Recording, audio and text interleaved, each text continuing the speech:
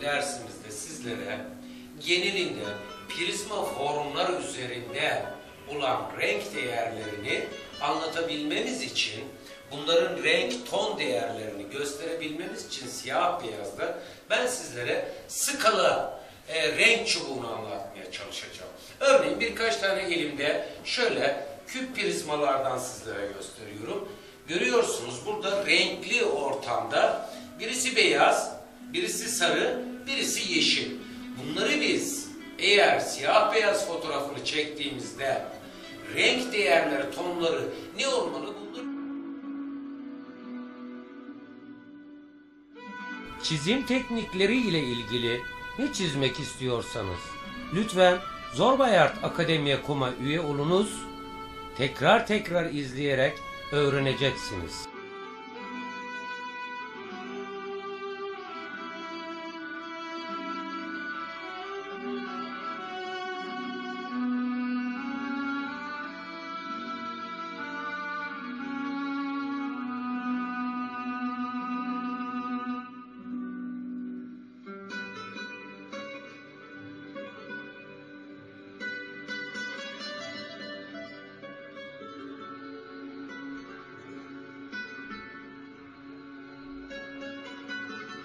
Dostlarım, bir başka renklendirme tonlama tekniği kullanıyoruz.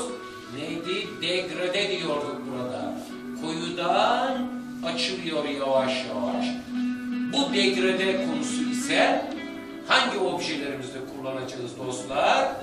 İleride göreceğiz başka bir dersimizde. Silindirik, küresel, konik ve yumuşak tonla geçişte gölgelerde kullanacağız dostlar. Okey?